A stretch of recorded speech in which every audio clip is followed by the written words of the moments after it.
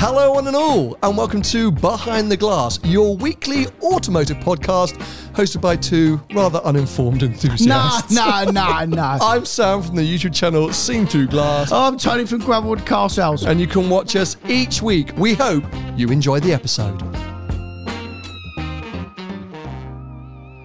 I took the train this weekend. I saw that. So yeah, I went down to my mum's house in Cornwall. It's uh, to drive. It's probably like a five and a half hour drive, like unless you're like bombing it. What'd you take train for? Well, here, let me, let me. I'm going to explain that right now, Tony. It's, a, it's a, probably like a five and a half hour drive, which is a tad too long at the minute for our daughter. She, I would say, after an hour in the car of her being awake, she's a bit like, "Get me out of this Yeah, thing." fair enough. So- and she probably could nap for an hour. So then you've got a two hour journey, pretty comfortable. Five, it's like, whoa. Mm. And we could break it up. We we could like stop somewhere halfway, but then it's like it's still two and a half, three hours. Anyway, too long. Yeah, yeah. So we thought, hey, you know what? Why don't we take the train? That'll be perfect. She can look out the window. We can keep her entertained, like loads of like uh, books and toys—they'll be fine. And it's a four-hour door-to-door. So um, Door to door. no, sorry, not door-to-door. Four-hour station to station. Yeah, I was going to say, yeah. Four-hour station to station. Um, so Good Friday, we chose to to set off from London Paddington. Um, In the where- morning. In the morning, about 10 a.m. Uh oh. So, yeah. so as we arrived, I was like, "Ooh, it feels busy in this station." It will be busy. like packed. I Yeah. mean, packed. I'm thinking, "Oh, this is a bit stressful." And everyone's standing around looking at the boards, waiting for their trains. And our train was one of the last to be called. And I started thinking, "Oh, all these people waiting for our train." Oh. Well, Paddington as well. If you know London, it's not the biggest of train stations. No. It's quite small and compact. and and it really caters for the southwest of England. Correct. So of an Easter weekend, it is quite popular for people down south Mm. to head southwest. to head out to Somerset, Devon, Cornwall, uh, Wales, Bristol, etc. And, and Paddington Station will service most of those uh, Waterloo does a bit destinations as well, though, Yeah. Waterloo does a bit. Yeah. Yeah, but you know, anyway. So it's. uh, when people like to go away on Easter, Good Friday, I would probably should have used my head and thought, hmm, probably not the best time to travel with Yeah. a 15 month old baby. Yeah. Um, anyway, our our train gets called. I have never experienced anything more hilarious but stressful in my life. Fight. Dude, the gates opened Yeah. for the platform. It was chaos. Yeah. I saw an old granny be stampled.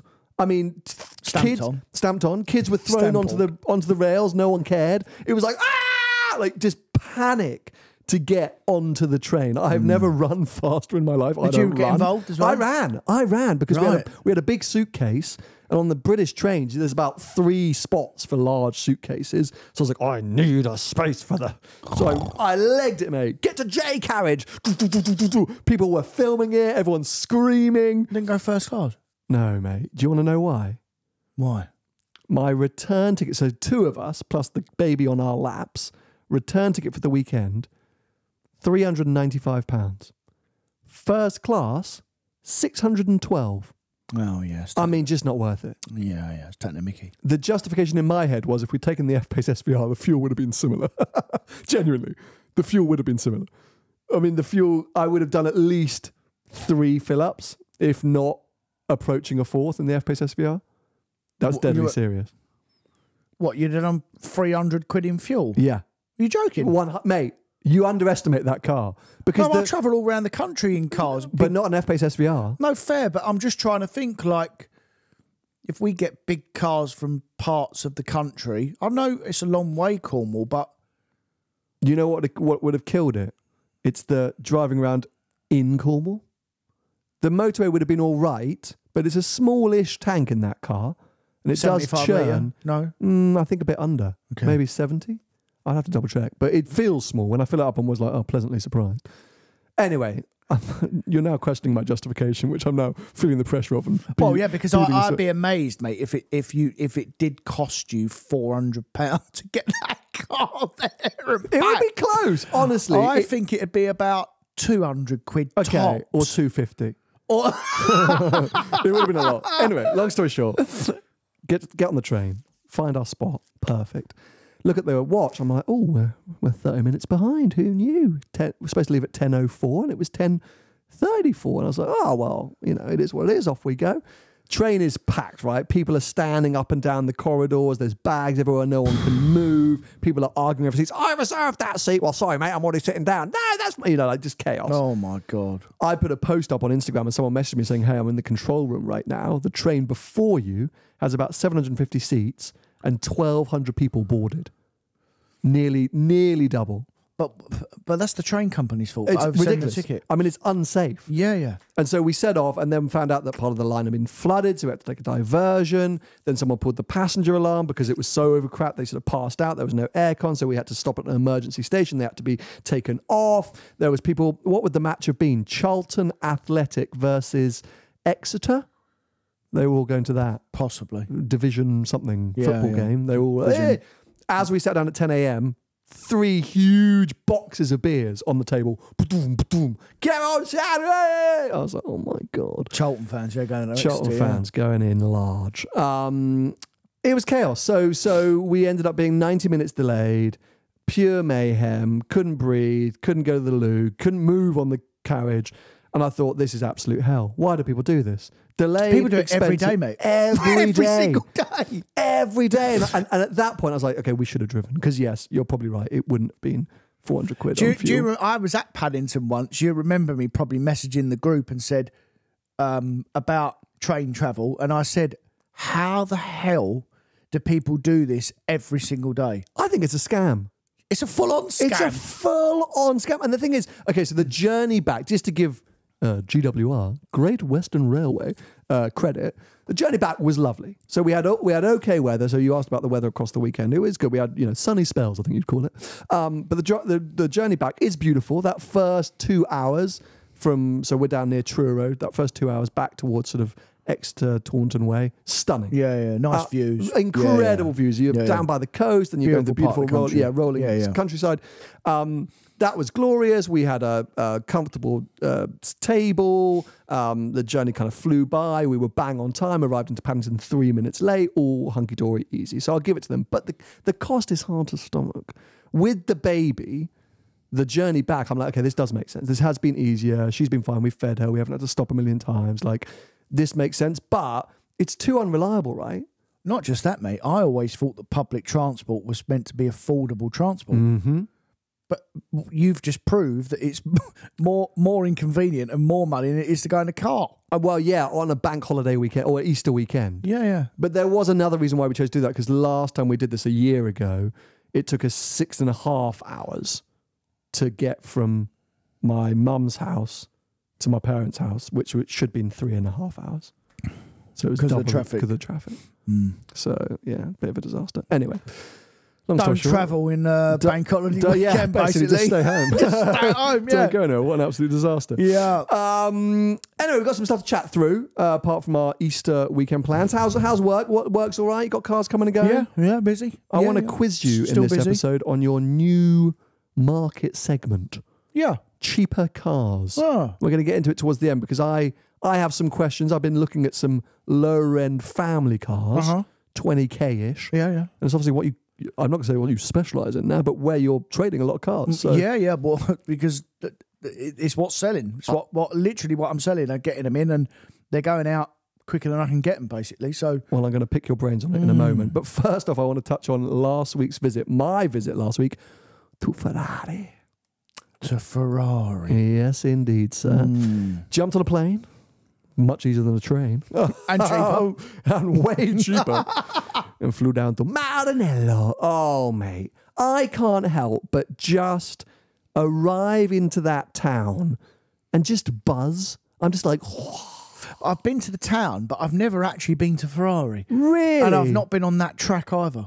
Oh, mate. I want to have a go round there. Fiorano. Yeah. I don't think you can just like go on the track. No, of course like you it's not can't. like book a track day. Yeah. it's quite yeah. So let's get into all of it, I suppose. So have you even have you you've driven past the factory gates? Yeah, like literally, that's it. You've been to lunch there? Have you gone No. to nothing? No. You've literally, oh, No. well, then you're kind of missing everything because the, the village in the town is amazing. Yeah. And there is like, you know, everything's Ferrari. There's all those, uh, rent a supercar for the day. There's the Ferrari Museum, which is very good. I have to give that a shout out. Great museum. Um. Not and been then- in there either. Oh, mate, we're going to go back. We've got well, that's a road trip. That's a future destination. Okay. Um, so lots to do, but but The real like specialness is inside the hallowed gates. Because I think Ferrari's biggest selling point is the, in inverted commas, club. Mm. Because when you buy a Ferrari or you own a Ferrari, you gain entry to, well, the Ferrari Owners Club, but the unofficial Ferrari Owners Club, just the Ferrari Owners family. And actually, they did, Ferrari themselves said this. I've really drunk the Kool Aid. Um, Again. because yeah, because back in the day, really early on in the sort of forties and fifties, you know, Enzo sort of almost handpicked who bought his cars, so he knew everyone. Still do that now. Basically, you're right. Actually, um, just not the Romas. Yeah. Um, and so yeah, it, it's that warm feeling, isn't it? When you when you own a Ferrari, you do feel like you're kind of There's no other brand like it, mate. yeah. Literally no other brand like it. And so when you are welcomed into the Ferrari gates, one way or another, it's that like times 10. So you have the Cavallino restaurant opposite, which has had a refurb a few years ago. Absolutely delightful. That's the kind of go to for easy lunches, the client lunch, stuff like that. Then you've got the Montana restaurant down the road, which is where you always see the photos of like a Schumacher in the kitchen with the chef Yeah, and, you know, all that stuff. And there's memorabilia everywhere and drivers still go there now. Um, but inside the factory gates, you've got the Classiche department, which is I was there to visit. You've got the atelier, you've got the actual factory itself, you've got the Formula One team, and then yes, you've got the Fiorano race circuit, which was uh, I think opened 1970s, early 1970s. Um, so there's just so much. You're just literally overwhelmed with Ferrari, Yeah. like passion, enthusiasm. You can't help but just go, "Oh my god, this is just unbelievable." mad, Um, mad to think that Lewis is going to go there next year, isn't it? well, okay, so oh, we got so much to talk about. so the reason why you may not have seen much of this is Ferrari keep it very close to their chest. So you know, it, it's not really something that they're allowed to be filmed. It's not something they're allowed to be showcased because they want it to be reserved for customers, so that when you go there and you're specking a car or collecting a car, factory collection, uh, a driving experience like the one that I did. It, it feels special. You haven't seen it before. It's not on the internet, It's very clever the way they do that. I Well, they it- used to be very protective, mate. Do you remember early in the early days of us filming and stuff, and we wanted to go to a Ferrari deal? You used to have to get permission. Still I mean, i- Is that still, the case? Yeah? do, yeah. yeah, yeah. Absolutely. You know, you have to seek prior permission from the PR team. You know, they're very protective over their brand Yeah, yeah. in general. And the factory is like, you know, the complete, you know, Mm-hmm. hub of that. So, uh, yeah, so I was there to take part in their, their Corso Pilota Classiche program, which is a, a driving course for the classic cars. Yeah. So I guess more on that on the main channel video, which I think is coming this weekend. Uh, re- I mean, for me, dream come true. Go to Ferrari and drive classic Ferraris. yes, please. Yeah, yeah. Um, so that was kind of the No, focus. thank you. Yeah. Actually, for you, it would have been a total disaster. Um, but uh, yeah, the focus on us was the classic department. But before that, we went on the factory tour. So full factory You've done tour. that before, right? I've done that before, but not for a long time, to be fair. And a few things I picked up on. So, firstly, they are building a lot of Romas. Yeah. Like, oh my God. Yeah, Roma, Roma, Roma, It's their Roma, 911, Roma. isn't it? Mate. Yeah. We talk about how they have bombed in value. Mm. They will bomb harder. Because Mm-hmm. even our tour guide was like, everything you see today will be a Roma. Mm. You see an engine, it's for a Roma. Or maybe a Roma oh, Spider. But I'm like, but that, but that's actually good for the rest of the cars because they can only build a certain amount of cars a year. Yes. Ferrari. So, so that's good for the the mid-engine stuff because they just can't build them. they can only build ten thousand cars a year, right? Well, they're aiming at less still. Fair. So so so they was it seven and a half thousand per year? That's normally what I think build. that, and, and, Yeah, and so yeah. the demand is increasing, but they don't want to demand. They don't want to increase production because Yeah, they want to keep the exclusivity. yeah. So you're apart right. from Roma. Yeah, apart from Roma. So they are churning Roma and Roma Spider everywhere. And Puro Sangue, by the way. Whatever they tell you about the exclusivity of Puro Sangue. Oh, mate. Oh my God, they are churning Puro Sangue. But, uh, but Lamborghini done that with Urus. yeah, yeah, yeah, yeah. That- it's a complete lie. It's go, go, go, go, go, Ex- go. absolutely. You know, printing money, as they Yeah, say. yeah. Um, so that was the f- first few things that I, I realized.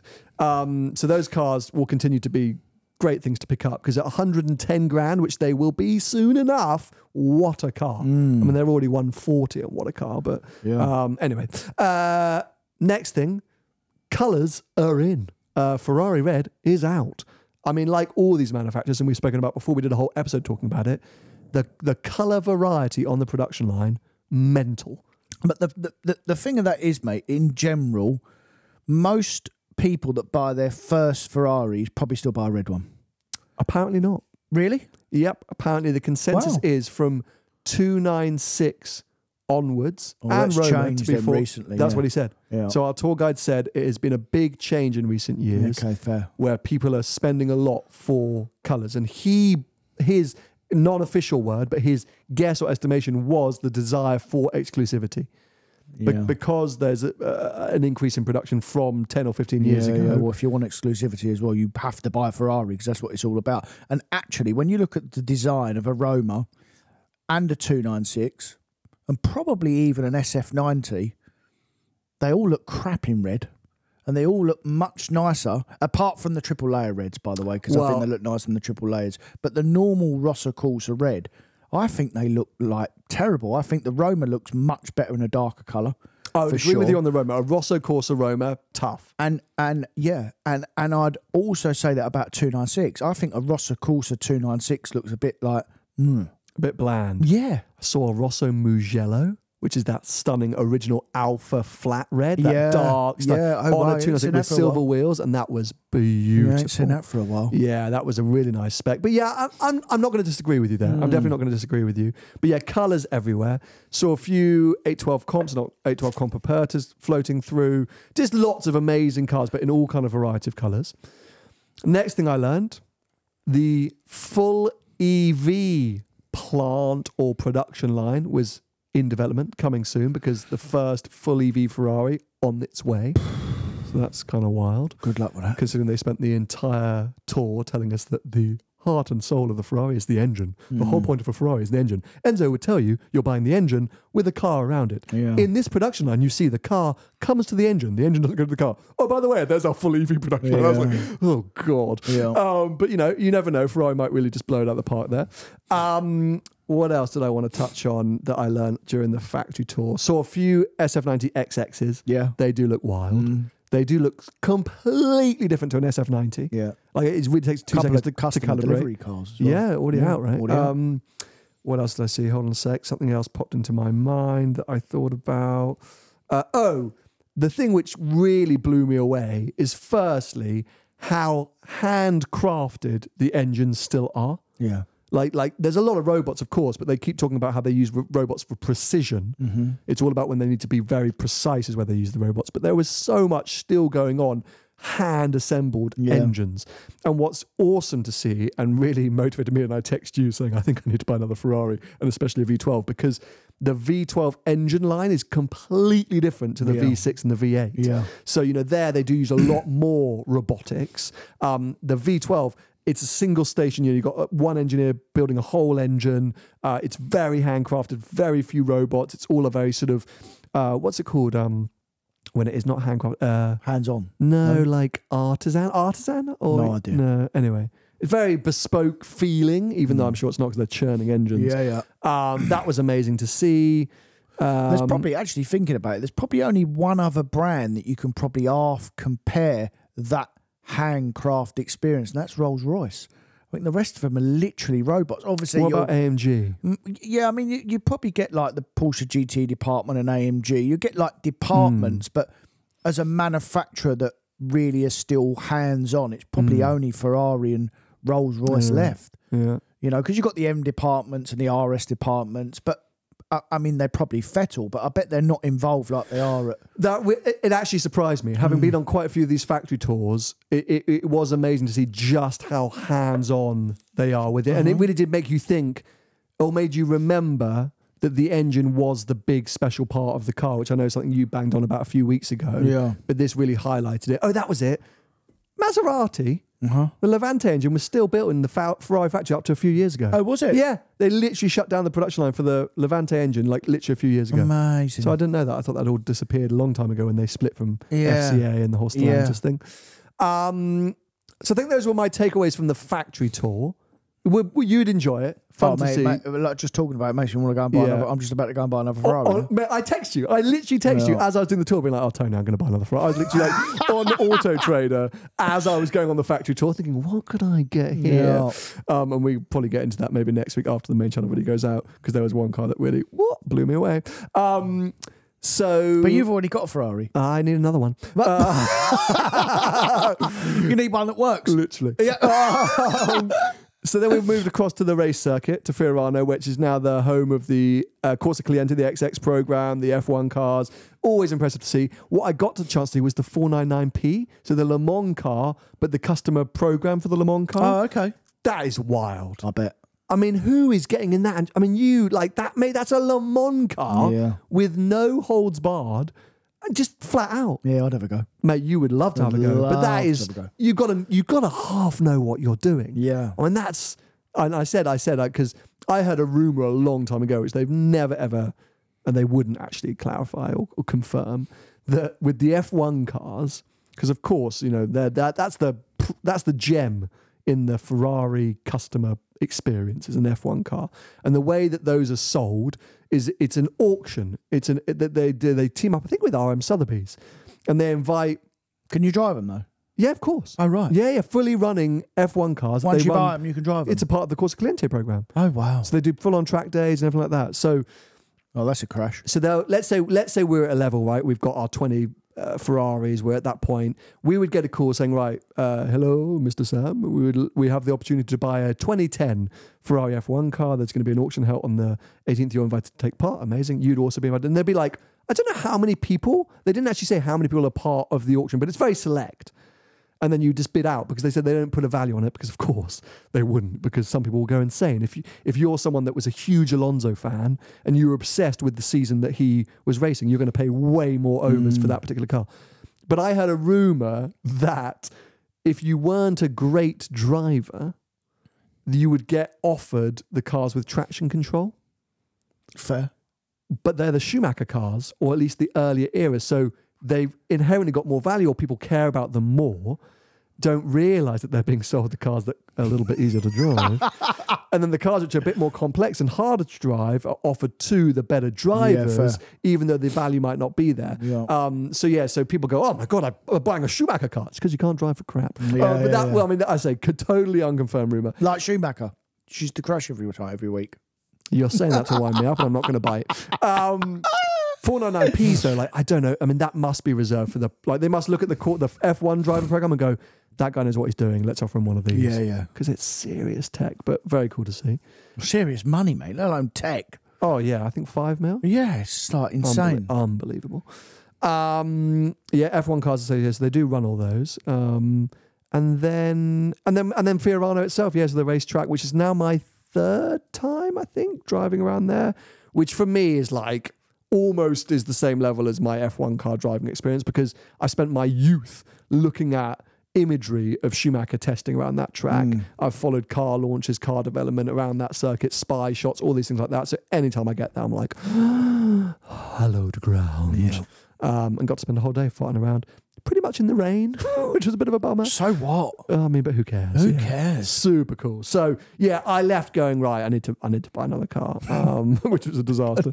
um, but I, I'll try and find a way to get you in. We'll we'll try and do something. We should do something. Yeah. Yeah. I'll send them an email and see if we can do. I wonder what we could go and drive or do, or we've got to do something to give you the full experience. Yeah, that'd be cool. talk about it some more. Um, but yeah, that's the main channel video coming soon. But speaking of Ferraris ish, something I wanted to quiz you about. Over the last few weeks, seen a lot of my contemporaries, YouTubers, buying crashed celebrity cars. Yeah. So Matt Armstrong famously, famously, uh, went out and bought the Marcus Rashford crashed, crashed Mansory Well, he, Ray. well, he's got a little bit of a history of buying like half famous people's cars. Anyway, didn't he buy? Is it Adam? Adam LZ's Yeah. GT3. Yeah. So yeah, so he obviously knew the format worked Yeah. and had this opportunity to go and buy the Rashford car. And then literally, I think the last few days, Stradman, James went out and bought um, Michael B. Jordan, who's a famous American actor, has crashed 812 Superfast. Did he? So I think maybe, you know, knowing James, he's probably half seen what, you know, what's going on here. And went, What the others are doing? yeah. Yeah. so I'm, I might do something. Yeah. Um, uh, so what I, Brilliant wa- marketing that is. oh, it's a fantastic, It's you know, unbelievable. Yeah. content stream. yeah. Uh, but what I wanted to dive into and actually pick your brains about is where does this sit in your world? So, firstly, just to understand what a cat N, cat S, cat whatever category write offs or, or breakdowns mean, if you rebuild a car here in the UK, is there a market for it? Do you see them? Uh, is there disasters where people rebuild them and then try and hide the fact that they've got a cat, whatever? Like, how does it all work? Because as a YouTuber, I see the legs in it, one million percent. Amazing content. You know, the car hopefully could pay for itself if you're getting enough views. You end up with an incredible car at the end if you don't plan on selling it. But how's it this like? Because I was looking for an A6 allroad recently. and there was a Cat S car. Flipping Stunning spec. And I thought, oh, but I didn't actually really understand what Cat S meant. Yeah. So talk me through it. How does it work? And is there actually any legs in this? So there's obviously different categories of insurance write-offs depending on the damage, essentially. So uh, uh, they changed it. it. Used to be A, B, C, and D, but they changed it. You've got uh, N, uh, Cat S, Yeah. uh, and there's a there's a more serious one as well. There's a few. It, it's not really my world. I understand it, and I definitely don't buy that stuff, and I wouldn't. I've been offered it before in part exchange and stuff, but um, And this is all to do with insurance, right? yeah, so it's all about the value of the car and the damage of what what's been what's been damaged. So, but you know, if you've got like a ten grand car, like a German car that's fairly expensive to fix, and it's had a crash, but it's only been like a wing and a bumper. Sometimes they write it off because they go, it's not it's not worth repairing. Or another good one, I had a customer the other day. Um, the not the other day actually, it was a couple of months ago. Bought a new shape RS3 from me, and uh, his RS6 had blown up. Water, engine wise. water damage, yeah. Okay. So it obviously went for a puddle, blew his engine up, and it was 25 grand for an engine. Wow. So they wrote the car off. The car was 35 grand. They wrote it off. And so that so a category only gets applied in the UK when the car is written off. As in, you got written off repaired, Okay. and then you've got like written off as in it has to, you can't, it can't go back on the road. As Okay. in, you're, you know, You cannot drive this. yeah. And Structural damage, like chassis damage. yeah. And that, so in the old cat- categories, that used to be A and B, Okay. but they've changed the The letters, categories. okay, fine. They've changed but, but yeah. So so if you saw old school Cat A, B, or you know serious structural chassis that like should not be driven, So I think Cat N is non-structural. I think that's what the N should we bring up stands the for. actual? Should we bring them up? And and the S means structural damage. So it's more serious, basically. I'm pretty sure that's right. Insurance categories UK, just so that we uh, know exactly what we're talking about. Uh, no, Non-structural can be like bumpers and and stuff like that. You know, that's not damaged the structure of the car, basically. Okay, so uh, da, da, da, what car gets written off?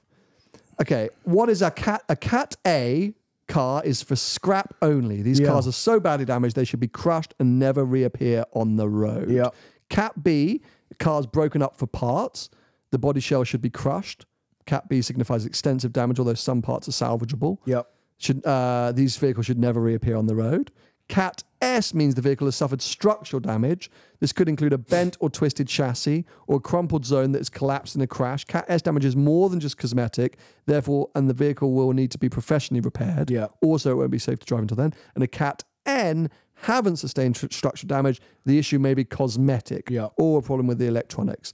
Fine. So, a Cat N if you see a cat N for sale, five or ten grand below market value, it may be worth considering depending on the repair shop and the repair work. The, the, as far as I knew as well, some insurance companies they won't insure Ah, interesting. re- reinsure category cars. Uh, there, there are there will be specialist ones out there, but there'll, Yeah. be, there'll definitely be insurance companies that just say because they ask you, don't they? Yeah. Has it ever been in a write off before? And blah blah blah blah. When you do your insurance, and if you say yeah, it's a cat this, sometimes they go sorry, we can't insure you.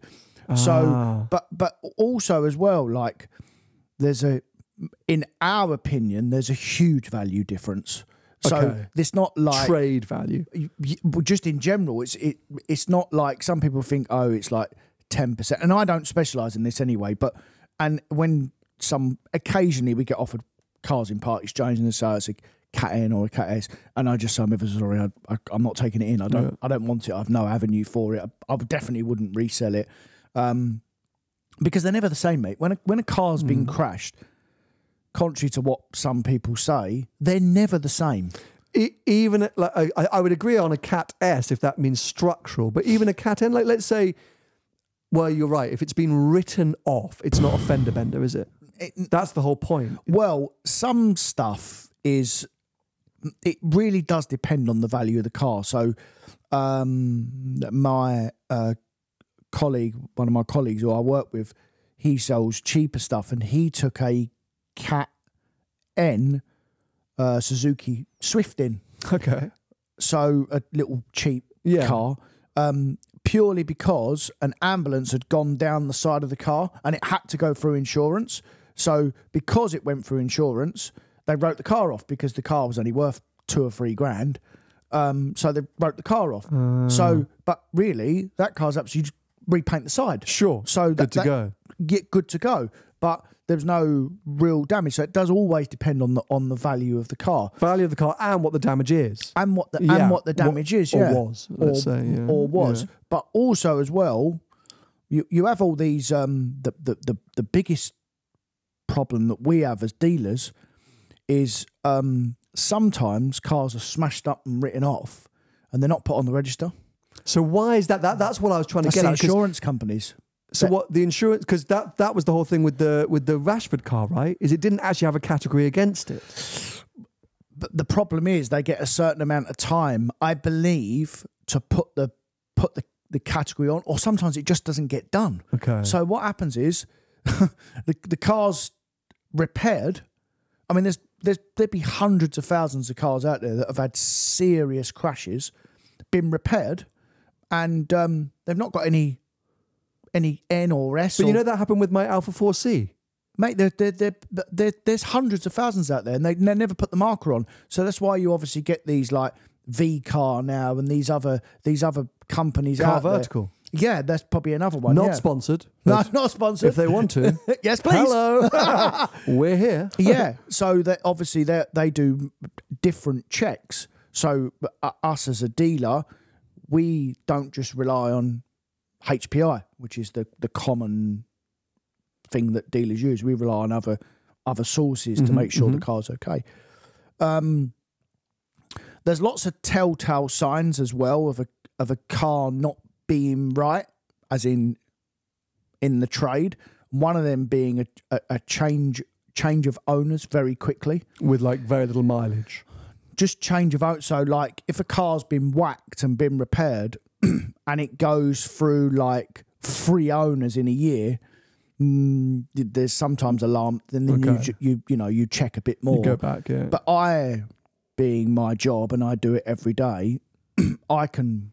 you have a sixth sense for Mate, it. I can I can tell from a mile off whether the car's involved in a Walking crash. or a not. Tesco park going, dodgy, dodgy, li- dodgy. literally Yeah, but that's yeah. that's my job i can tell Yeah, from course. that's all experience that you build up over the years but um there's there's also a company called is it copart yeah, yeah, yeah, Yeah. We so- can buy wrecked cars. and i think matt Yeah. buys Yeah, stuff yeah, from yeah, copart so some of that stuff isn't registered so it's been heavily crashed and it's not registered and they, they buy it they repair it and put it back on the road as a normal Hmm. car but and there used to be dealers that would earn an absolute fortune out of that by the way I think in America it's very different, and that still happens. They have something called I think they have salvage titles in America, so that's their categories. But yeah, I, I, you know, I, there are YouTube channels out there of Yeah. people doing exactly this. I'll tell you another thing that goes on as well, by the way. So again, this is this is less now, but it does still happen. I know it happens. Um, so you can buy a car from Copart. Yeah, Then what you do is the rats, they're not the proper dealers, the rats, and they are rats. They're scum. They go and nick a car off someone's driveway, right. break the car up, Yeah, fix the Copart car, and then sell the Copart car. And that happens like that. That's a thing, mate. That genuinely happens. So Wow. yeah, yeah, yeah. There's so much stuff that goes on. You, like it's, it's you have to be so careful just in general when you buy a car. Like I can't tell you how many, and it's bad. I mean, it, we are heavily regulated as as dealers now, much more than we were. But there are still, excuse my language, some shithead dealers about, like there are in every industry, right?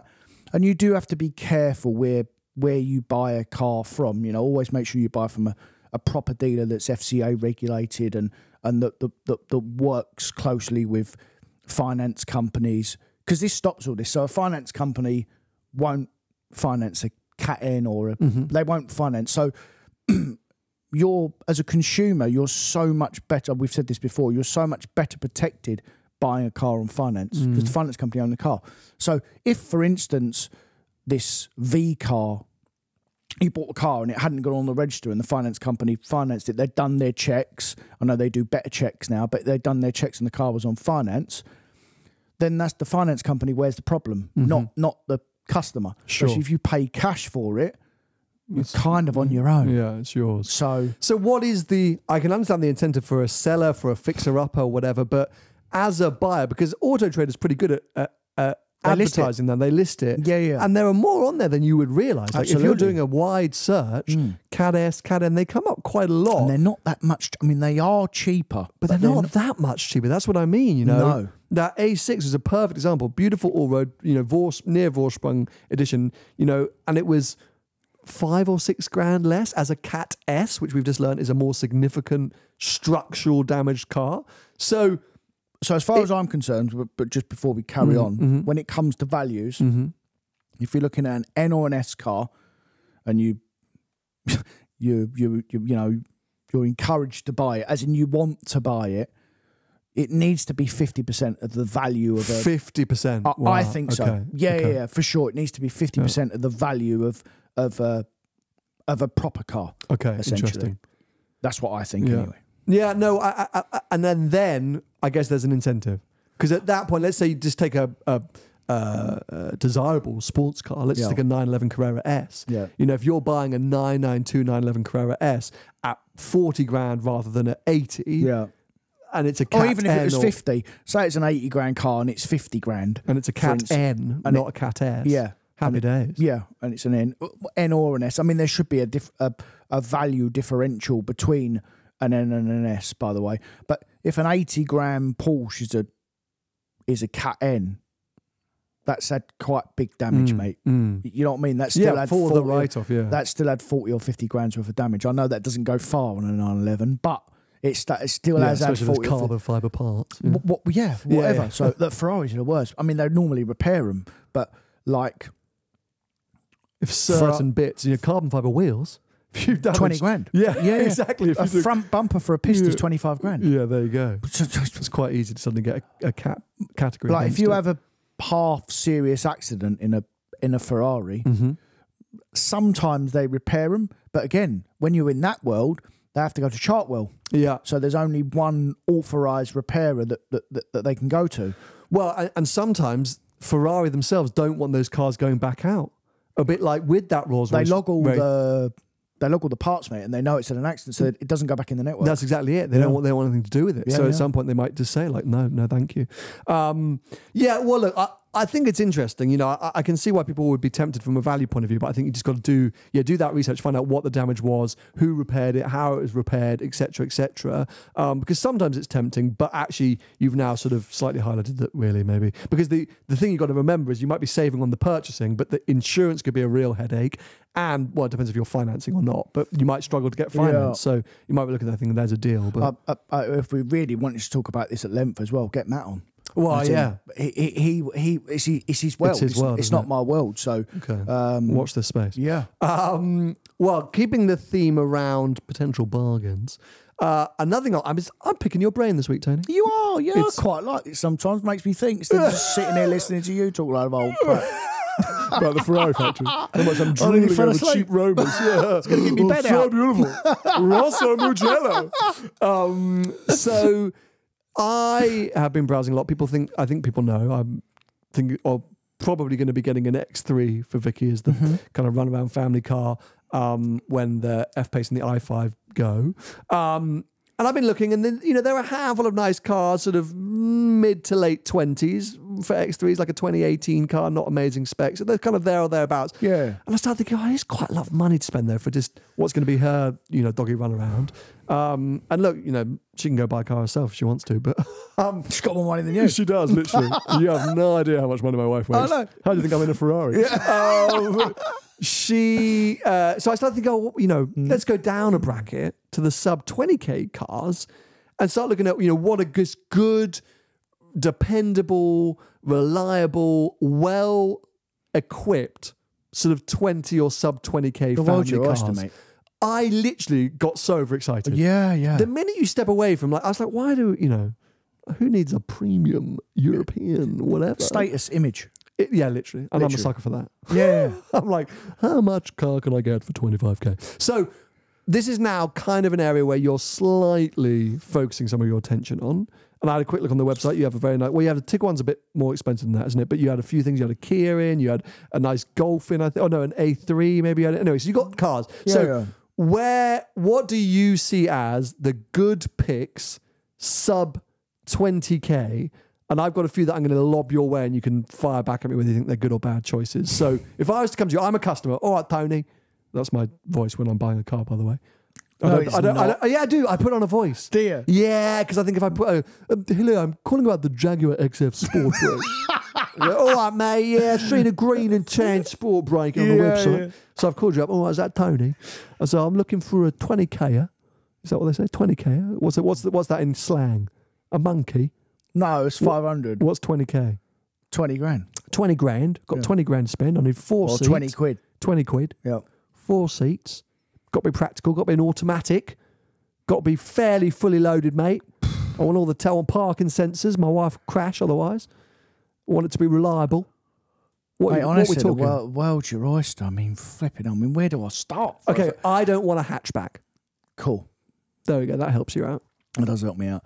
So, three cars that come to mind, and I am a genius, but I, I have been briefed on this, so please don't think that I'm not that much of a genius. I did he text Tony last he night has mocked me saying, up. I think this will be our He's warmed me up. this will be one of our topics. so I. I did have a little bit of thinking time. He ain't put me on the spot. Although even if he did, I'd still pluck three out of the sky. so so number one, Mm-hmm.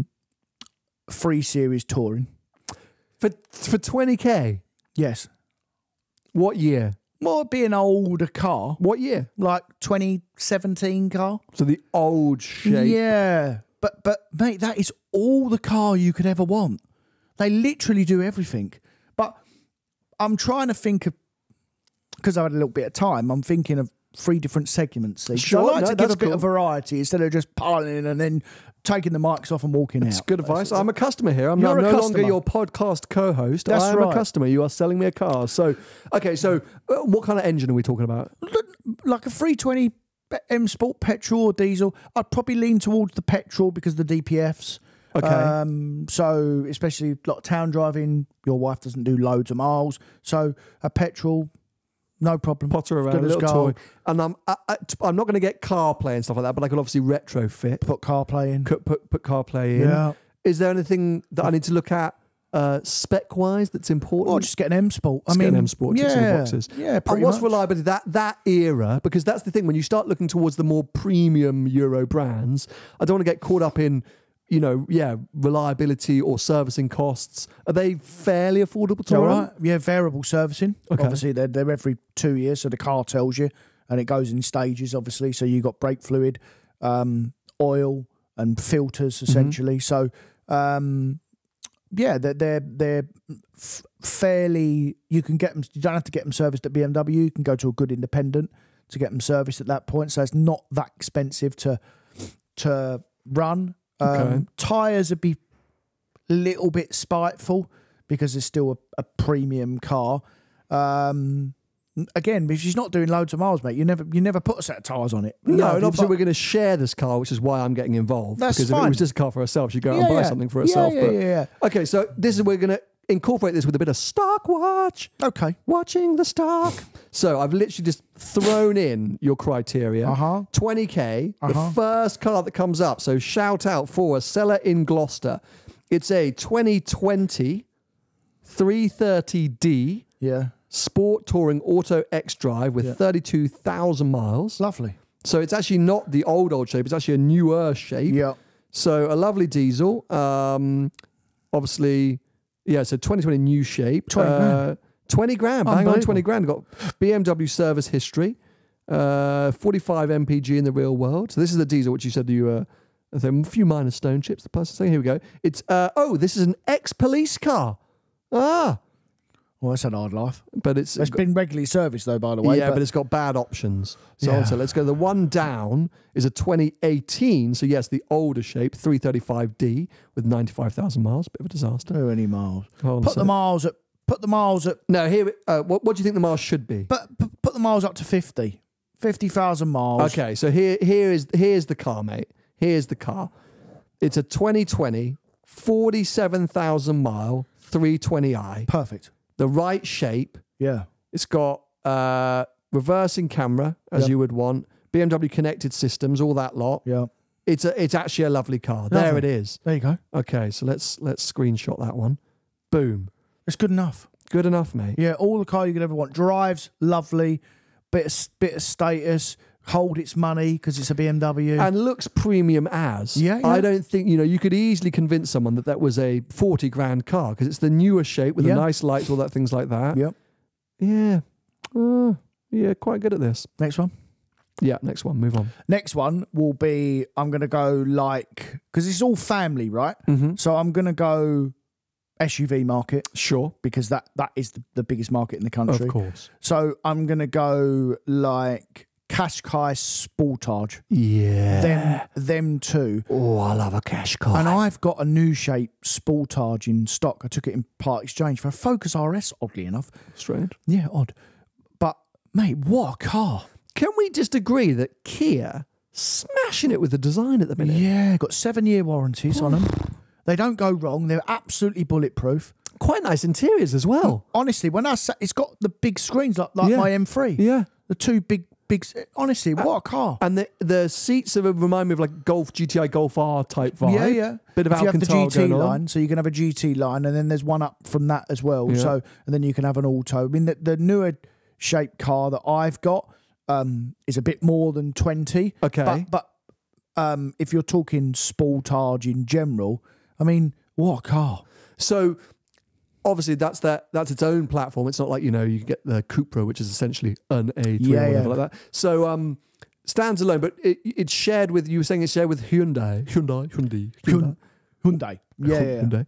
Um, but what is its equivalent? So if we were to make a European equivalent, is that a Tiguan rival or what is that? Yeah, so it is literally a Tiguan, or a okay. Q3 Q- probably. Okay. So I've got a just to give you an idea and pricing. So I've got a Tiguan in stock. It's a 2018. It's done similar miles to the Kia. Yeah.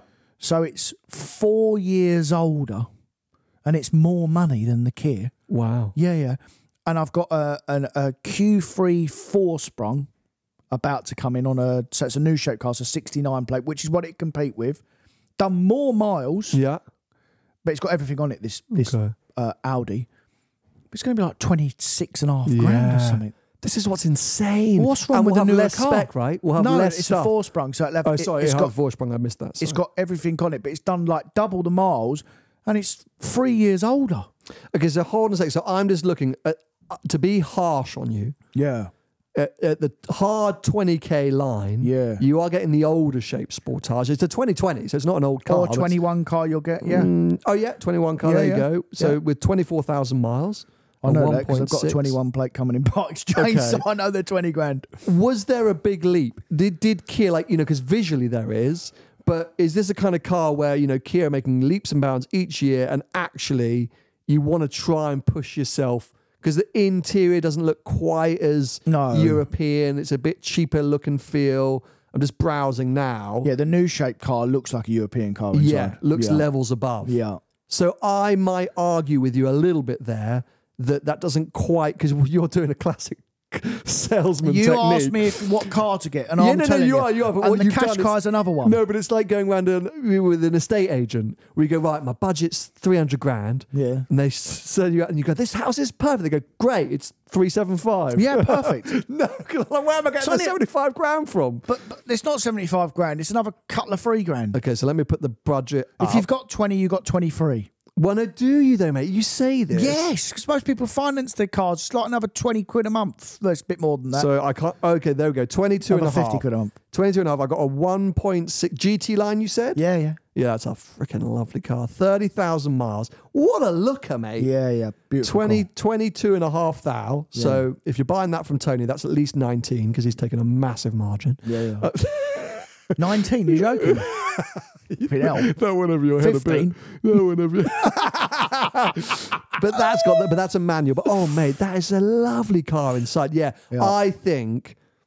That's the car. Oh, innit? there's a brown one. Oh, no. Oh, there's a brown. Oh, that's the one I'm including in the stock watch. He's put it in. Shout out to uh, SG Petch Richmond. Oh, it's down the road, mate. Down the road, get down there and get a deposit on it. what a thing. Does it come with CarPlay and stuff? Brown oh, here one. we go. Wireless CarPlay. Perfect. Wireless Apple CarPlay on the 22 and a half grand brown Kia Sportage. Yeah. What a weapon. Yeah. Annoying that it's manual because Vicky can't drive manual fish. Shame. Okay, I'll let you have it. I still think you've cheated a little bit in a classic car But, but, dealer all right, way. well, but then, but then What's go the cash, what's go the Qashqai. Oh yeah, cash Qashqai's a vibe. It's the same thing. mate. Qashqai blows me away. Yeah, yeah, yeah. Because I we talk about every now and again. We rented that one from literally from like Hertz or Europcar, Yeah. fully loaded Yeah. for nineteen grand, CarPlay, pan roof, cruise yeah. control, heated seats, unbelievable. Yeah, yeah. But I don't think it looks as good as that Kia. It doesn't. No, That definitely Kia's not. Wonderful. Yeah. So okay, you, you, you've had your SUV. them too. No, there's another SUV coming, Tell me. but this is a this is a more premium one, bit older, Mm-hmm, bit more expensive, but unbelievable value for money. Mm-hmm. Range Rover Sport, Shut up. twenty Twen- grand. you get like a 2015 car. Really? Yeah, yeah. Obviously, there's insurance problems In the uh, UK. in the UK, and there's some reliability problems as well. But mate, you're driving a Range Rover, a newish looking car, Okay, so a Range Rover Sport, Sport, up to twenty tw- up grand. to twenty grand. Oh wow! yeah. What? So, a, yeah. mate, what a car. So for listeners, this is the prior shape. Think of the SVR, the old SVR, not the Like new a SV. 2014, 2015 car. Yeah, but just, just you know, not everyone's going to know what that which one that looks like. It's not the Yeah, boxy one. It's literally the last generation. Yeah, so think yeah. of the old SVR. It's, Yeah, it's yeah. that shape. Yep. So here we go. Good example for our last topic. One of the first cars that comes up, Cat N. Uh-uh. Now they are leggy cars at twenty grand. We're looking at nearly hundred thousand miles. No, there will be some with less There's some at 75,000. There's one at 46,000. Yeah, yeah. So there's a three litre diesel V6 Yep. at 46,000. But you're right, cars that look more valuable than they are, if you rock up at your mate's house in one of these, That fits a 50 grand car. they are leggy cars, though, mate. Here we go. Here's another 64,000 mile car. That's a good one. That's the one I'm going to include right Yeah. there. It's a it's another three litre diesel. And yeah, they think it's more than 50. They think that's a 75 grand car. Yeah, It yeah. is a st- that's a great spec. So for listeners, I'm looking at a silvery gold pan roof, black interior, lovely and cushy. Looks, as I say, up to date. Lovely and cushy. yeah. Told you, mate. I put in a bit of an accent here when I when I do. It's metallic metallic aruba, deployable tow bar. Yeah, sixty four thousand miles. The uh, the garage in Bramham. Well, the prob- the problem with that car, as a lot of you know, is one trying to insure the bloody thing, because in the UK they do get stolen and and lot. they do have. You'll have a, some big maintenance bills. They do carry a few problems then, but flipping out, what a car for twenty grand! Is that good though to be suggesting or recommending a, a family car that might break But down? some people are happy with that, mate. Like the mar- that market's Hmm. big. Some people are happy to have, you know, to compromise a bit of reliability and a bit of. Uh, for a bit of prestige. And pre- Yes. yeah, I'm one of those people. Have you considered a Maserati Gran Turismo? um, okay, so that's a great shout. Let me throw some curveballs at You can bash them back at me. We'll do a bit of quick fire. uh-huh. Volvo XC40, Yeah, great car. great car. Great car. Because they're sort of circa, you know, that kind of money. Are they 20 grand now? Yeah, you can find some 20 grand. It's a bit of the Kia Sportage vibe. Like they're Yeah, yeah. hovering at 20. Tech's Um, a bit uh, that that screen's a bit laboured and slow now though. That that that main infotainment screen it needs updating. The, yeah, the Volvo fine. one. Yeah, okay, li- tech wise. Mm, yeah, I mean, it's got all the tech in it, but Sure, but if you want Apple CarPlay, you're going to have to hack it. It's not going to be inbuilt. uh, no, it should have CarPlay. But what I mean, is all a bit dim-witted and slow. and Fine, it- fair. It's not like the like but, what but we spoke about. reliable, Oh, fairly yeah. cheap to run Oh yeah, Built a- like a a tank. bit of a prestige brand, I think Volvo still. absolutely great, great brand. I like that. in general. What about a non-Quadrifoglio Alfa Giulia? Just like the diesel Giulia. Uh, I'd go the petrol one because of 280 horsepower. Fair. get the Speciale one or the one with a bit of spec on it. Um, we get them in from time to time. Mate, that, all right. my first ever experience in a Giulia was just a, the Bogo standard one, Yeah. the non and I thought, and I had one on loan, one of my first ever press loans as seen through glass, was I think a diesel, maybe it's a petrol. Anyway, but still a mega car because you get all the theatre with the big paddles, you get the beautiful looks, maybe not aggression, but you get the beautiful looks, lovely place, lovely seating, but driving position, Yeah. things like that. Crap tech again. Mm, you'd have the of slow BMW. You'd have the BMW still though over that. But we're talking about alternatives. You Yeah, know, yeah. you know me. I'm always going to come at you with a slightly quirky choices. Yeah, yeah, fair. But yeah, if, if unless you need to be well heeled, you'd probably still buy the BMW. Okay, maybe. Mercedes. Yeah. What about an early C class or a GLA, something of that ilk? Uh, again, both of them, they're all right. As in, um, I sold a C250 AMG Premium Plus with 50,000 miles on it, 2017 car Lovely. last week for like 18 grand. Yeah. Yeah. It's nice. yeah, yeah, it's fine. A tad more expensive to run. Mm, than the BMW. Yeah. It's just slightly older and no, it's all right. It's Okay. their yearly servicing, not variable like the BMW. A slightly older car as well, so entertainment system not quite as good. And a bit of an Uber vibe about you. Mm, but good on fuel. Well, yeah, but you know Yeah. what I mean? Like, I remember, this is maybe a UK problem or at least a German problem, Germany problem. I remember my mum bought, she went from S5, like A4 cab, S5, S5 to E class. Yeah. And everyone called her a, a taxi driver. An from- Uber. Yeah. Mm, Wasn't, but it's pre posh Uber. Uber. Yeah. There was, oh, why have you bought a taxi? And she was Mm. devastated. She had it six months, sold it. Oh, well. Because they still have that vibe, you know. And if you're, if it's like a fairly affordable C class or E class, think people might think they're the, you're, you're their Ubers enough. and jump in the back by mistake. Yeah. Yeah. So it's a bit like the bit like Skoda. Oh, that was one. Skoda Sup- Octavia or no, Superb. you want Sup- the Superb. That's the big one, right? That's the Flipping hell. A6 rival. What a car that is, by the way. Massive no, boot, no one buys them unless you're a taxi driver. Yeah. But but flipping ill. You get the sport line one of them, you get like a What year? three year old one. Like a Wow. 2020, 2021 Yeah. sport line. Flipping what a car, mate. See, the world is your oyster. Yeah, But literally. I'm most turned on by that Kia Sportage. yeah, yeah, it's perfect. That is a vibe. it's good enough. and I just think Kia are just making moves. Do you know what I mean? They're making moves. and they're easy to pronounce than Hyundai. yeah. um, but I mean, the Qashqai is the more sensible choice and the biggest seller in the country. But that Sportage, I'm going to go check some out. Yeah. Well, actually, wait, is your one? I know your one's manual. There's I want to drive one. There's a there's a lot, mate. There's a lot of sportages on the road. Yeah, and on the market. Millions well. of them, yeah. Yeah. But that's it. Yeah, the world is your oyster at that sort of 20k ish mark for lots of nice bits of kit. Family And cars. Family cars. Yeah, Yeah, yeah. exactly. And I think, you know, that that's my whole remit is like, actually, you know, m- maybe there's a, a nice, this is the bum around car. You know, I'm Mm. probably going to get something nicer, you know. Anyway, let's not bore you all because I know every week, what's Sam going to buy this week? Based on my Ferrari factory tour, it's going to be a 550 Ferrari. Oh my god. No, that's what I looked at. I looked at 456, 612 Scaglietti, 550, 575, and Roma. Punch it. And you know the other one I looked at, mate? Here's a shout Gen 1 Californias. There is a car for sale at a Ferrari dealership. They sixty grand. At the, the Ferrari one is 75, Right. but they're like 50 or 60 grand for a Gen 1 California. And I know With it's, some miles on it. it's basically a Maserati and people don't love it. It's still a Ferrari. It's a terrible car, mate. It's, I it's no, no, no, no. It is not a terrible car. It's a terrible Ferrari. Yes, Yeah, terrible Ferrari. yeah. Good car. Um, and why we say it's a terrible Ferrari because it doesn't feel like a Ferrari. Just get a Portofino. That's a much better car. Well, Portofino M, I still will. I will remain to this day. They're way too much fighting. them. Yes, but I don't know if that's because the Roma Spider hasn't come out yet, or because everyone is listening to this podcast and agreeing with me. Portofino M. That if I had a lot of money, that's what I'm going to go and buy, and I'm going to sit on it because I think that's the. It's a, a 100 you think that'll car. only be a hundred? Well, that's an investment. that no, might be seventy-five. That'll be a hundred. They're suddenly going to bomb the minute Roma. Spiders turn up. They're going to bomb, but it's Yeah. because you can't get a convertible that Yeah, yeah. format at the moment. But it may it is a Roma Spider.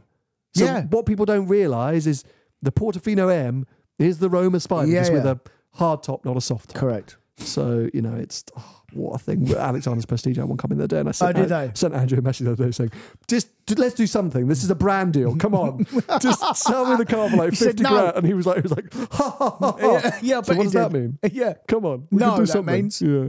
Damn you, Andrew. Uh, well, anyway, there we go. Some consumer advice today. Cat N, Cat S cars. Should you? Shouldn't you? Um, cheap or no? Sorry, we shouldn't say cheap. Affordable family cars, sub twenty k, and the fact that Ferrari is still great, Of course. despite the fact that we don't actually want of their new cars. Um, we actually don't, do we? we don't. It's weird. But I did, as I say, going around the factory. What did it make me want? It made me made me want an 812 Competizione. It made me want to drive an SF90XX. It made me want a Purosangue. Yep, I said it. It made me want a Roma. I didn't want a 296, even though they're so good. I didn't want a 296. Well, everyone would agree with you because there's 60 of them on the market. Yeah, and it made me want to be a Corse Clienti program. But most of all, the biggest thing is it made me want to buy all the classic Ferraris because I say I was there to visit the Classiche program. If you get involved with that, mate, the archive you'll see it all in the main channel video. I'm imploring you all go and watch that. The cla- the uh, the Ferrari archive, mate. Any car you've bought, they know they have all the information. mate. Yeah, it's unbelievable. It's it's actually terrifying. yeah. I'll just leave you with this one ac- anecdote, which will feature in the main channel. Stirling Moss, famously, his 250 GTO is that pastel green one. You've seen that pastel green Have I? 250 GTO. Let me bring it up now. If you, if you Just see help it, me out here, mate, because I Um, don't really look at anything really.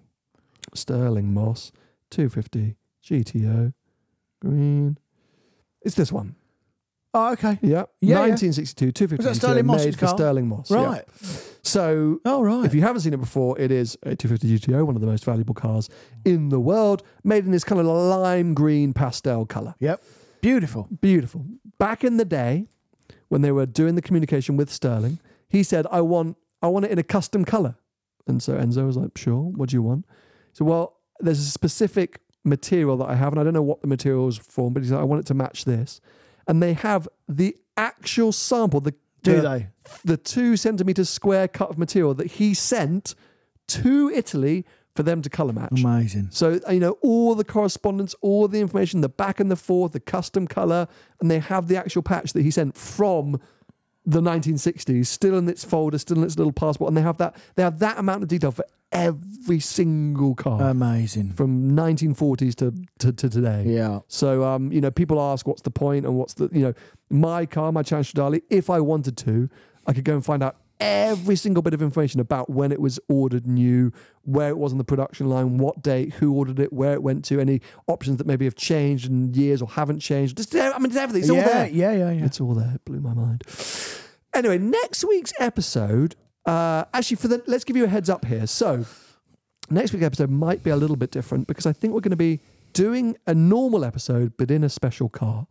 So we've been doing a few more rate my rides. This is going to be something similar to that. Stay tuned. I don't even know about this. I'll tell you afterwards. Good job. Thank the you. week after, we will be on the BTG tour of Portugal. Oh, oh, Our first ever tour. yeah. That's that is two weeks. It's two weeks. Have we got to record a podcast out there? So we will be doing an episode during the tour, but it may be with you late. So we're giving you a heads up now that not next week, but but the week after, the episode may we be with you later than usual. Yeah. Okay. So stay with us. But we want to record an episode during the actual tour to talk. We're gonna record it with the gang? Exactly. Yeah, I think that's a good the whole idea. point. Maybe get them involved, rate their cars, tell people why they should have bought something different, whatever it might be. well, I can't. re- The cars that are coming, I can't really go in on it because they're we all like mega. all. We like them all. Um, so yeah, so that, that just give me a heads up on that. Is that yeah, two weeks time, it may not be a if you're a YouTube viewer Thursday lunchtime, if you're an audio listener Tuesday or Wednesday upload, um, but bear with us. We are very excited for that week. Anyway, we hope you enjoyed this week's episode. Uh, if you're listening to us, please uh, give us a review on whatever audio platform you're listening to us on. If you're watching us, uh, you can subscribe, turn on notifications. If you want to follow Tony in the meantime, he is at Tony Gravelwood Car Sales on most social media platforms. I'm at Seen Through Glass, and this podcast is at Behind the Glass underscore underscore podcast. We'll be back with you for a slightly quirky episode next week. Bye bye. See ya.